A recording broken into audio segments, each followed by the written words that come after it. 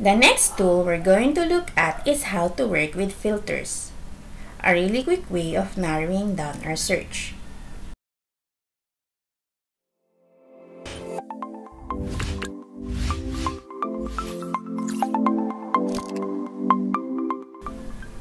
Our next task is to find out how many orders have been placed by the customer Ryan Crow. To start searching through a very large data like this could take ages. Fortunately, we have a tool called filters, which allows us to hide all the information we don't need. Now, in this case, we open the data that immediately sees Ryan Crow near the top. If you're lucky enough to have this, a really quick option is to click on the value you want to filter by, then right-click, come down to the filter, and choose Filter by selected cell's value. You'll notice you can also choose to filter by color, or by font color, or even icon. When I click by selected cell's value, it immediately hides all the records that do not pertain to Ryan Crow. Now, to restore our data to how it was before, we can simply undo. So I'm going to press Ctrl Z. And we're back to where we were. That was a quick little filter. But our next task is a little more complex. We've been asked to identify all the orders placed in California in the year 2017 with a total of over 1,000. For this, we're going to need to use the filter tools. Now, these are available on the Data tab of the ribbon in the Sort and Filter group. Right in the middle, you'll see a big filter icon. And when we click on that, it applies these little auto filters to each column. This allows us to quickly filter and even sort our data. Let's start by looking at the problem of filtering our data by state. So I'm going to come to my auto filter button, click the drop down, and all of the values in the column will appear. Now there's a lot in here, so I'm going to unselect this one and then click on California and press OK.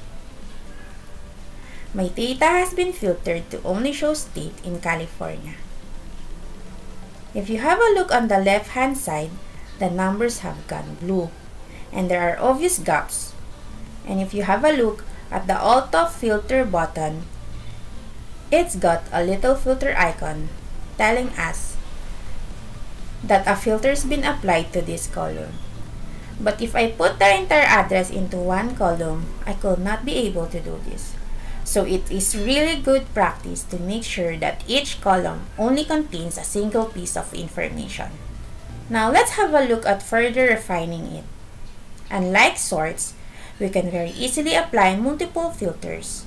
So I'm going to now come to the order date, click the drop down,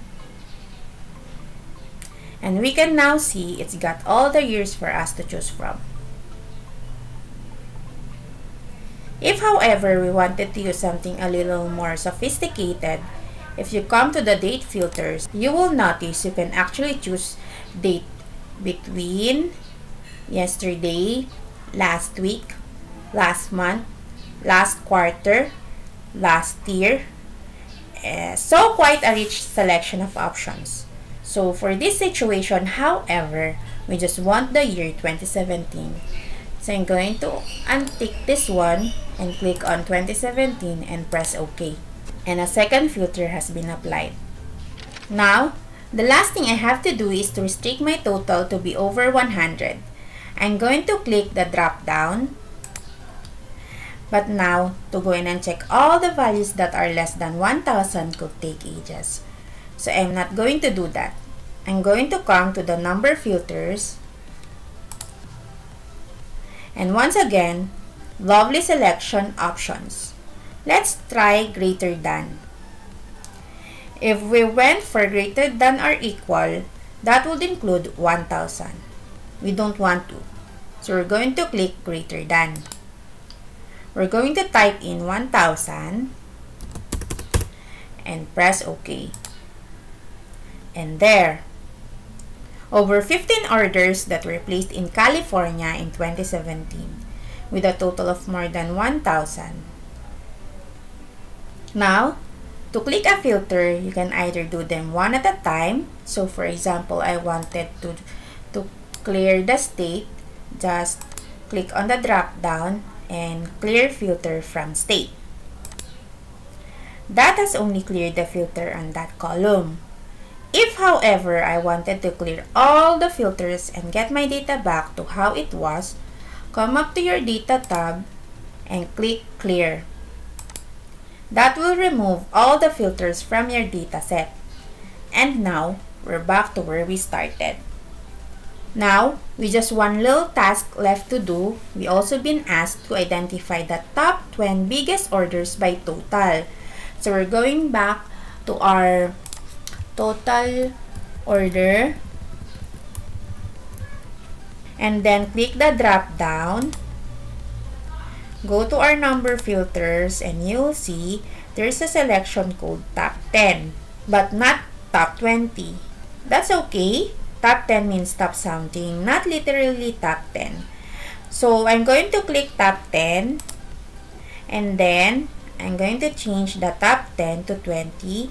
You can either click on this arrow or type in 20. There. And then I could go for items or percent. But with our example, we will use items. And then we will press OK. And there are our top 20 orders by total. So you can see there are quite a lot of fantastic options which will allow you to quickly narrow down your dataset to just the data you need to see. Just before you finish working with it though, it's a really good idea to clear your filter so you don't confuse other colleagues who may think that data is missing. So we're going to come back to our sort and filter group, then click on the clear, and then if you want to get rid of the auto filter buttons, just click on your filter icon too. Another shortcut for doing your filtering is to use the keyboard shortcut that I have shared with you in our previous video.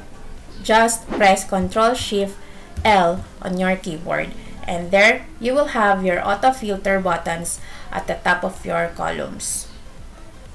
And also to remove that, if you don't want to go to the, your data tab, you can also press again Ctrl Shift L to remove the auto filter buttons.